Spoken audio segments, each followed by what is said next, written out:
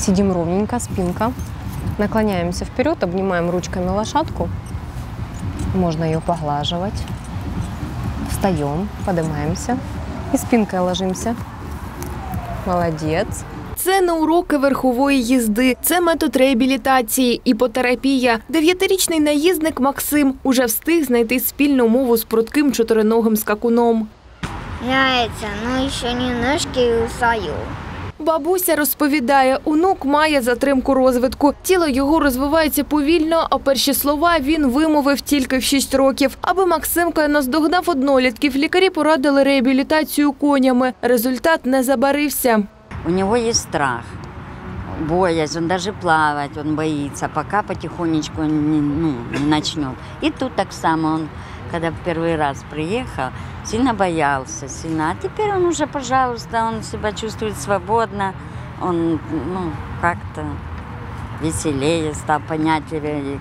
Терапевтка Оксана вдається до допомоги коней вже 8 років. Розповідає, за цей час бачила приголомшливі результати відновлення після складних травм та невтішних діагнозів. Каже, аби одужати, головне Заниматься без седла, так как нам нужно чувствовать температуру э, тела лошади.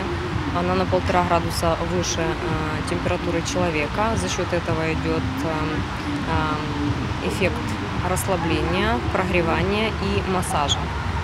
А, Получается, ускоряются регенеративные процессы, ускоряется кровообращение и быстрее идет восстановление после различных травм, До того ж, під час їзди верхи тренуються базові рефлекси, працюють усі м'язи тіла. Це допомагає відновити функції опорно-рухової системи. Більше того, іпотерапія позитивно позначається на психіці.